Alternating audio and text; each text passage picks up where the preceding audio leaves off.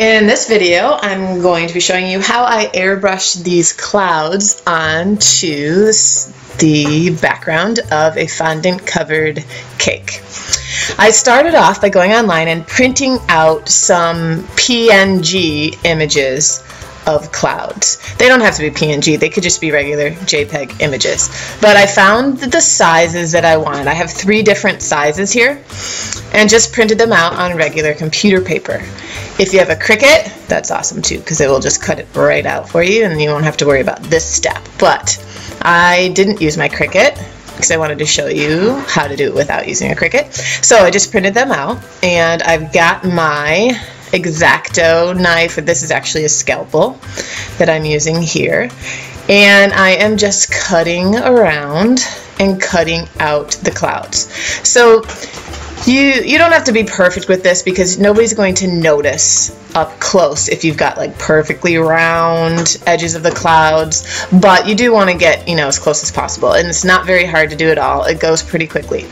You want to save the um, sheet that you cut it out of because you can use that as well and I'll show you how I incorporate that into this as well. So cut out all three of your clouds and save the sheets that you cut them out of. Now um, for airbrushing. I just wanted to give you some airbrushing tips because I know a lot of people have questions about airbrushing and are a little bit scared to use an airbrush. Here I'm just showing you how actually I clean my airbrush. I am using a my Clarella Cakes airbrush a system here, which I love, love, love. Um, she's totally awesome, and her airbrush system is totally awesome. So in order to clean your airbrush well after you use it, you want to add either airbrush cleaner or some kind of clear alcohol into like I just showed you, the cup of the airbrush. And then I have a paper towel. I'm holding it against the tip of my gun and I have my airbrush on and now I'm squeezing the trigger as if I was actually airbrushing a cake. But it's what it's doing is pushing the air back up into the gun and up through the liquid and it's just kind of cleaning out the inner parts of my airbrush there. Definitely do that after every time um, you're finished with your airbrush for the day the project and you want to put it away. You want to run some clear alcohol through it just to clear out all that color.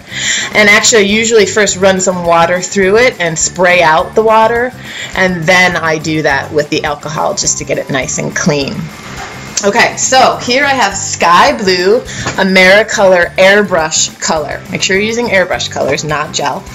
And I'm just taking my cloud and I'm just gently pressing down on the trigger gently brushing, airbrushing color onto the cake around the edge of the clouds.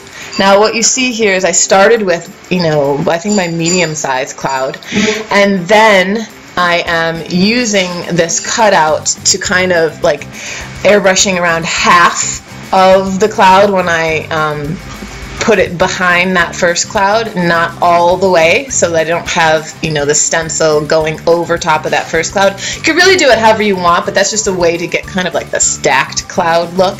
And then you saw right there that I used the cutout, the sheet that I cut the cloud out of, um, and airbrushed in that to get a darker cloud. Because you know, some clouds are stormy um, and have a little bit more color than other clouds. So I'm just kind of randomly placing them around that way.